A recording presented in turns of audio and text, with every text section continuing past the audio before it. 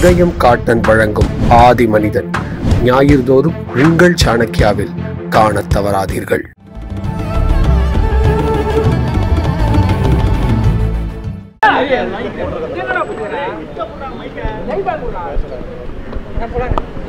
விடமாட்டாங்க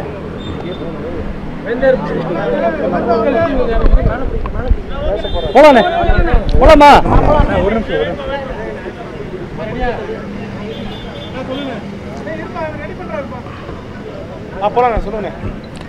ஆடியோ பார்த்துக்கணும். அனைத்து இந்திய அண்ணா திராவிட முன்னேற்ற கழகம் மாண்புமிகு புரட்சித் தலைவி அம்மாவுடைய மறைவுக்கு பிறகு பல நெருக்கடிகளை பல சோதனைகளை கடந்து அது கட்சி வலிமை பெறவும் ஆட்சி கடைசி நிமிடம் வரை தொடரவும் தனியரசு தமிழ்நாடு கொங்கிளைஞர் பேரவை பல்வேறு நம்முடைய தமிழ்நாட்டினுடைய அண்ணா திராவிட முன்னேற்ற கழகத்தினுடைய கோடிக்கணக்கான நம்முடைய தொண்டர்கள் நாட்டு மக்கள் பேராதரவு தந்து இந்த ஆட்சி அல்லது கட்சி வலிமை வருவதற்கு துணை நின்றார்கள். ஆனால் இப்பொழுது அந்த இரட்டை தலைமை உறுதியான பிறகு இந்த எல்லா வகையான நெருக்கடிகளையும் புரட்சி தலைவர் புரட்சி தலைவி அம்மா சின்னம்மா அதற்கு அடுத்த நிலையில் எல்லா நிலைகளிலும் தனக்கான நிலைகளை எல்லாம் விட்டு கொடுத்து அண்ணா திராவிட முன்னேற்ற கழகத்தினுடைய வலிமைக்கும் அதனுடைய ஓர்மைக்கும் மிக வலிமையாக துணை நின்றவர் ஐயா ஓபிஎஸ் அவர்கள். மாண்புமிகு முன்னாள் முதல்வராக பதவியேற்றிருந்த காலத்திலிருந்து கட்சிக்கு பல்வேறு பொறுப்புகளை வகித்திருந்த காலத்தில் கூட அவர் தன்னுடைய முன்னி தன்னை முன்னிலைப்படுத்தி தனக்கான அணிகளை கட்டிக்கொண்டு தன் சுயநலம் கருதாமல் கட்சியினுடைய நலன் கருதி கட்சியினுடைய இந்த நிமிடம் வரை செயலாற்றி வருகிறார் ஐயா ஓபிஎஸ் அவர்கள். இப்பொழுது ஒற்றை தலைமை என்கின்ற முழக்கத்தோடு எடப்பாடியார் தொடர்ந்து எப்படி நம்பி ஒப்படைத்த சின்னம்மா அவர்களையே அவர் அலட்சியப்படுத்தி அந்த கட்சியிலே அல்லது ஆட்சி நிர்வாகத்திலிருந்து அவரை விலக்கி அந்த ஒட்டுமொத்த கட்சியையும் அவர் அபகரித்து கொள்வதற்கு பல்வேறு சதிகளை செய்து அதை ஒழுங்கு செய்தாரோ அதே போல் இத்தனை இந்த நிமிடம் வரை துணையாக இருந்த ஐயா ஓபிஎஸ் அவர்களையும் அந்த ஒற்றை தலைமை என்கின்ற நிலையில் தன்னுடைய முழு அதிகாரத்தை கட்சியினுடைய அதிகாரத்தை தன் வசப்படுத்துவதற்கு எடப்பாடி முயற்சிக்கிறார். இதில் ஐயா ஓபிஎஸ் அவர்கள் இந்த முறை இந்த அந்த விட்டு கொடுத்து கட்சியினுடைய நலன் கருதி மக்கள் நலன் கருதி என்கின்ற அந்த எல்லா நிலைகளிலும் இதுவரை இதுவரை விட்டு கொடுத்த நிலையை இப்பொழுது நீங்கள் விட்டு கொடுக்கக்கூடாது என்று நீங்கள் முழுக்க தனக்கான அந்த முழு அதிகாரத்தை ஐயா ஓபிஎஸ் அவர்கள் கை தன்வசப்படுத்த வேண்டும் என்பதற்காக நான் ஐயா அவரிடத்துல வந்து இன்றைக்கி நேரில் சந்தித்து இது குறித்து பேசினேன். ஏற்கனவே பல்வேறு மாவட்ட செயலாளர்கள் பெருமளவு எடப்பாடி பக்கம் இருப்பதாகவும் நிர்வாகிகள் இருப்பதாகவும் சொல்லப்படுகிறது. அது ஏற்கனவே அவர் ஆட்சி அதிகாரத்தில் இருந்த நிலையில் அவைகளெல்லாம் ஒழுங்குபடுத்தி திட்டமிட்டு எடப்பாடியார் இப்படிப்பட்ட ஒரு சூழ்ச்சியை வஞ்சகத்தை அவர் நடத்தி முடித்து ஏற்கனவே உள்கட்சி தேர்தலை ஏற்கனவே தொண்டர்களால் தேர்ந்தெடுக்கப்பட்டு அதாவது இரட்டை தலைமையை தொண்டரால் தேர்ந்தெடுக்கப்பட்ட நிலையில் இப்பொழுது பொதுக்குழுவில் ஒற்றை தலைமை முழக்கத்தை இப்பொழுது திடீரென்று எடப்பாடியுடைய அணியினார் வைத்திருப்பது ஐயா ஓபிஎஸ் அவர்களுடைய அந்த அதிகாரத்தை பறிப்பதற்கு அவர்கள் சரி செய்கிறார்கள் என்பதை உணர்ந்துதான் நான் அவர்களுக்கு ஓபிஎஸ் ஐயாவிடம் இது குறித்து பேசி ஆறுதலாக அந்த தனக்கான அதிகாரத்தை நீங்கள் இந்த முறை விட்டு கொடுக்கக்கூடாது என்கின்ற நிலையிலே அதாவது கட்சியினுடைய நலன் கருதி அண்ணா திராவிட முன்னேற்ற கழகத்தின் நலன் கருதி தமிழ்நாட்டு மக்களின் நலன் கருதி இந்த இரட்டை தலைமை இன்னும் பிரிந்து சென்ற சின்னமா டிடிவி இவர்களை ஓர்மைப்படுத்துவதற்கு முயற்சிக்கிற அந்த சூழ்நிலை நாங்கள் எல்லாம் வரும்னு எதிர்பார்த்து காத்திருந்த நிலையில் ஏற்கனவே இருந்த இரட்டை தலைமையிலையும் இப்படி ஒரு பிரிவு இப்படி ஒரு சிக்கல் வருவது அதிமுகவுக்கு மீண்டும் சரிவை தரும். அது நாட்டு மக்களிலிருந்து இன்னமும் அதனுடைய நம்பிக்கை ஆதரவை அது பலகீனப்படுத்தும் என்பதை அடிப்படையில் தான் நான் இப்போ ஐயாவிட்ட சந்தித்து இதை பற்றி பேசுகிறோம் ஐயா வந்து இந்த முறை உறுதியாக நான் இருக்கிறேன். நான் வந்து இப்பொழுது அண்ணா திராவிட முன்னேற்ற கழகத்தினுடைய ஒற்றுமைக்காக அந்த ஒற்றை தலைமை என்கின்ற அந்த முழக்கத்திற்கு நான் இசைவு தெரிவிக்க மாட்டேன். நான் கட்டாயமாக இந்த இரட்டை தலைமையோடு இன்னும் பிரிந்து சென்றவர்களையும் இணைத்து அதிமுகவை வலிமைப்படுத்தி புரட்சித் தலைவர் புரட்சித் தலைவி அம்மா அவர்கள் கண்ட கனவை நனவாக்குவேன் அப்படிங்கிறதுல உறுதிபட சொல்லியிருக்காங்க. அதை குறித்து நான் இப்போ இன்று மாலை அல்லது நாளை சினிமா அவர்களையும் சந்தித்து இது குறித்து நான் இதை பற்றி பேசுவேன். டிடிவியாவை சந்தித்து பேசுவோம். இதில் இன்னும் நம்ம இப்போ மூ- மூத்த ஆளுமைகள் இப்போ கேசிபியா மாதிரி புகழேந்தி மாதிரி அன்வராஜ் ஐயா மாதிரி பண்டூட்டி ராமச்சந்திரன் ஐயா மாதிரி பல்வேறு நம்முடைய இந்த கழகத்திற்காக எழுபத்தி ரெண்டுலேருந்து ஐம்பது ஆண்டு காலம் தொண்டாற்றிய பல்வேறு மூத்த தலைவர்களை எல்லாம் சந்தித்து இது குறித்து அதிமுகவினுடைய வலிமைக்கும் அந்த புரட்சித் தலைவர் கண்ட கனவு புரட்சித் தலைவர் அம்மா உயிரை தந்து உருவாக்கி தந்த ஆட்சி கட்சி வலிமை வருவதற்கு இதில் நம்ம எல்லாரும் ஒன்றுபட்டு செயல்பட வேண்டுங்கிறத தான் நான் இப்போ ஐயாவோட பேசுகிறேன் அதில் ஐயா வந்து இந்த முறை விலகி அவர் விலகினால் பெருந்தன்மையாக இப்பொழுதும் விட்டு கொடுத்தால் எடப்பாடியினுடைய அந்த சர்வாதிகார போக்கு அதிமுகவை வலிமை இழக்க செய்திருவோம் ஏன்னா யாரையும் அரவணைத்து செல்லாத ஜனநாயக பண்பில்லாத மனிதராக எடப்பாடியை இப்போ நம்ம ஒரு எல்லாரும் பார்க்குறாங்க ஏன்னா அது புரட்சி தலைவரே கூட அவ்வளவு மக்கள் வலிமை உள்ள புரட்சி தலைவர். அவ்வளவு மக்கள் ஆதரவை பெற்றிருந்த புரட்சி தலைவர் அம்மா அவர்கள் கூட முரண்பட்ட கருத்தை சொன்னவர்களை கூட அரவணைத்து அன்பு காட்டி பதவிகளை தந்து அழகு பார்த்தவர் கட்சியின் வலிமைக்கும் அதன் மூலமாக ஆட்சிக்கு கைப்பற்றுவதற்கும் புரட்சி தலைவர் அம்மாவும் புரட்சி தலைவர் தலைவரும் கூட கையாண்ட அந்த அணுகுமுறை எடப்பாடி இடத்துல இல்லை.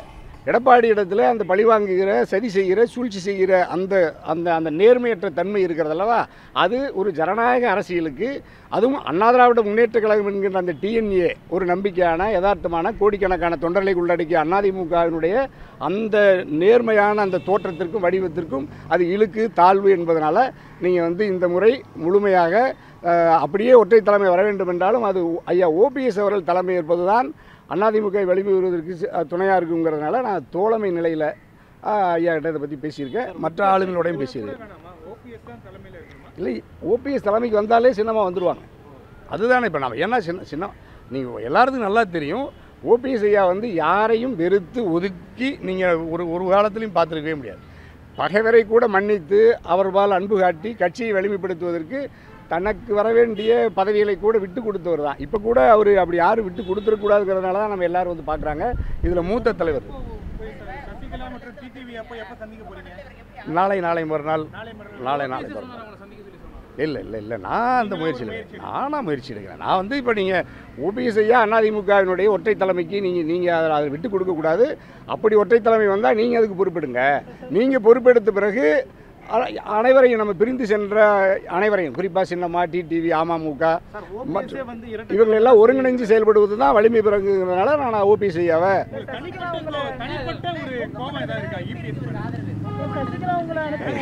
இல்லை இல்லை இல்லை. தனிப்பட்ட இல்லை எதுவும் இல்லையே. நான் தனிப்பட்ட முறையில் எதுவும் இல்லை. அண்ணா திராவிட முன்னேற்ற கழகத்தினுடைய நலன் கருதி அதனுடைய ஆட்சியின் நலன் கருதி அண்ணா திராவிட முன்னேற்ற கழகத்தை குறிப்பாக எடப்பாடிக்கு வாக்களித்து நான்காண்டு காலம் கடைசி அவர் ஆட்சி இருக்கிற கடைசி நிமிடத்து வரை ஆதரித்தவன் தனியரசு. அதில் எப்படி கடை எங்களுக்குள்ள முரண் இருக்க முடியும்? அண்ணா திராவிட முன்னேற்ற கழகம் ஆட்சியை இழக்கக்கூடாது என்று நான் சொன்னவன் முதல்ல தனியரசு தான். கூவத்தூர்லேயும் இதே மாதிரி ஊடகத்தின் மத்தியில் முதன் முதலாக ப்ரெஸ் மீட்டில் கூவத்தூரில் நான் கடைசி நிமிடத்து வரை எடப்பாடியாரை ஆளுநர் மாளிகையில் முதல்வராக்குகிற வரை உடனிருந்தவன் தனியரசு. ஆகவே அவர் மீது இருந்த பற்றால் அண்ணா திராவிட முன்னேற்ற கழகத்தின் மீது இருந்த பற்றால் புரட்சித் தலைவர் அம்மாவின் மீது இருந்த பற்றால் அதை வலிமைப்படுத்த வேண்டும் என்று தனியரசு கடமையாற்றினேன் இல்லை எந்த இடத்துலையுமே கட்சியினர் அதாவது அவங்க ஒரு மாவட்ட செயலாளர்கள் ஒரு முப்பது நாற்பது பேர். ஒரு கணிசமான ஒன்றிய செயலர் ஒரு சில பேரை தவிர அண்ணா திராவிட முன்னேற்ற கழகத்தினுடைய தொண்டர்கள் எடப்பாடியை ஏற்றுக்கொள்ளவில்லை. தமிழ்நாட்டு மக்கள் எடப்பாடியை ஏற்றுக்கொள்ளவில்லை. ஏன்னா தமிழ்நாட்டு மக்கள் எடப்பாடியை ஏற்றுக்கொண்டிருந்தால் நடைபெற்ற தேர்தலில் எல்லாம் ஏன் தோற்று போகிறார்?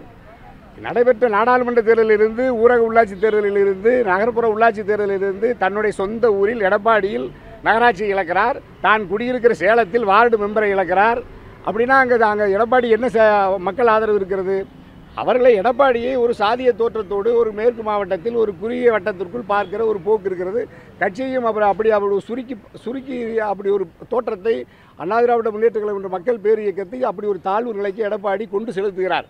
ஒரே ஒரு வலிமை இப்போ ஓபிஎஸ் ஐயா இருக்கிற வரைக்கும் அது வலிமை இருந்தது. இப்போ ஓபிஎஸ் ஐயாவின் மீதும் அவருக்கு இருந்த அந்த அந்த அதிகார நிலை அந்த பொறுப்பையும் அவர் தட்டி பறிக்க முயற்சிப்பது சதியினுடைய சூழ்ச்சியினுடைய கடைசி உச்சம் அப்படிங்கிறதுனால நீங்கள் ஓபிஎஸ் ஐயா இதில் நீங்கள் இதில் வந்து பின்வாங்க வேண்டாம். கட்சியினுடைய நலன் கருதி நீங்கள் இதில் உறுதியாக இருக்கணும் அப்படிங்கிறத நான் ஐயா கிட்ட சொல்லிட்டு வந்து பார்த்து பேசியிருக்கிறீங்க. இவர் தான் ஒருங்கிணைப்பாளர் இவர் தான் ஒற்றை தலைமையா இருக்கணுன்றது நீங்க உறுதியா இருக்கிறீங்களா? கட்டாயம் ஓபிஎஸ் ஐயா ஒற்றை தலைமைக்கு வந்தால் தான் பிரிந்த அணிகளை ஒன்று சேர்ப்பார். அந்த மனம் ஓபிஎஸ் ஐயாவுக்கு தான் இருக்குது எடப்பாடி கிட்ட இல்லையே.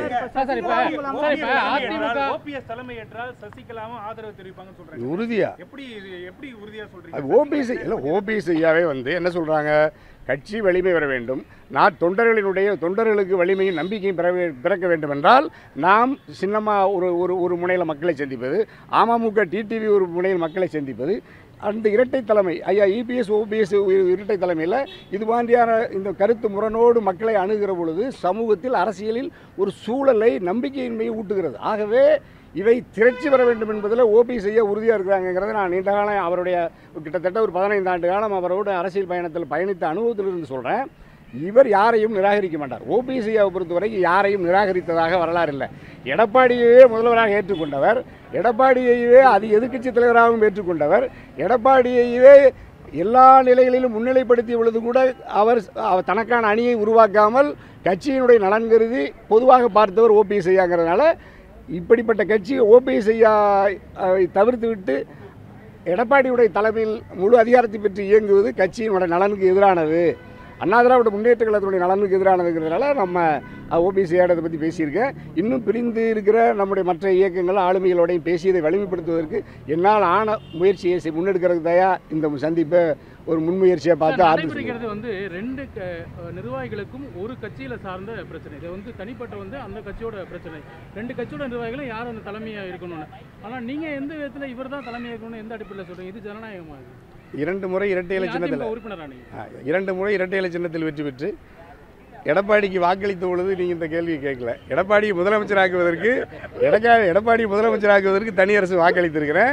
கூவத்தூரில் இல்லை யாரும் கூட இல்லை நான் மட்டும்தான் கூவத்தூரில் இருந்து அண்ணா திராவிட முன்னேற்ற கழகத்தில் வாக்களித்து நூற்றி இருபத்தி ரெண்டு சட்டமன்ற உறுப்பினர்களுக்கு தலைமையேற்று அவர்களினுடைய பிரதிநிதியாக அவருடைய கருத்தை முன்மொழிந்து வழிமொழிந்து சின்னம்மா அவர்கள் வருகிற பொழுதும் பல்வேறு அரங்கு கூட்டங்களை நடத்துதல முதன்மையானவன் தனியரசு ஆகவே அந்த அண்ணா திராவிட முன்னேற்ற கழகத்தினுடைய கட்சி உள்விவகாரம் என்றால் கூவத்தூரில் தனியரசுக்கு என்ன வேலை நீங்கள் யாரும் கேட்கவே இல்லையே. அப்போ அதிமுகவிலேயே கேட்கலையே. அதனால் நான் தனியரசுக்கு புரட்சி தலைவர் அம்மா காலத்தில் என்ன மரியாதை த கொடுத்தாங்க என்ன முக்கியத்துவம் கொடுத்தாங்கங்கிறது நம்ம நாட்டு மக்களுக்கு தெரியும். நானே விரும்பாத பொழுது கூட புரட்சித் தலைவர் அம்மா அவர்கள் என்னை அழைத்து எந்த தொகுதி வேண்டும் என்று கேட்டு நான் நின்று வென்ற காங்கேயத்தில் நில்லுங்கள் என்று சொல்லி என்னை காங்கேயத்தில் நின்று வெற்றி பெறச் செய்து அழகு பார்த்தவர் புரட்சித் தலைவர் அம்மா. அப்படிப்பட்ட கட்சி அப்படிப்பட்ட அதிமுக வலிமை பெற வேண்டும் என்பதற்காகத்தான் நான் இந்த கருத்தை முன்வைக்கிறேன். இதில் எடப்பாடி திருந்து அனைவரையும் அரவணைத்து சென்றால் எனக்கு எடப்பாடி மீது தனிப்பட்ட பகை ஒன்று இல்லை. அவருடைய பிடிவாதத்தால் அண்ணா திராவிட முன்னேற்ற கழகம் என்கிற மாபெரும் மக்கள் இயக்கம் சிதைகிறது. நம்முடைய பரம எதிரியாக இருக்கிற வடநாட்டு கட்சிகள் இந்தி கட்சிகள் கூட வலிமை பெறுகிற நிலை போக்கு தமிழ்நாட்டினுடைய ஆரோக்கியமான அரசியலுக்கு எதிரானது.